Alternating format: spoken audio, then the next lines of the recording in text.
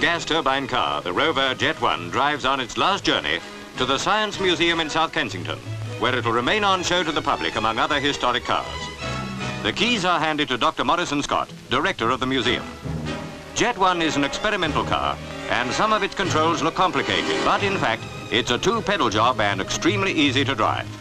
It may be some years before gas turbine cars are on sale to the public, but the Rover Jet 1 has already solved many of the problems which will bring nearer the day when the petrol pump gives way to the paraffin pump.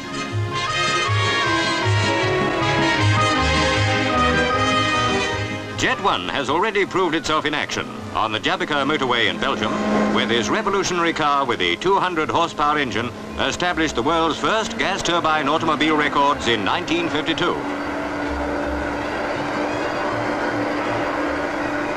95.6 miles an hour for the standing mile and 151.9 for the flying mile.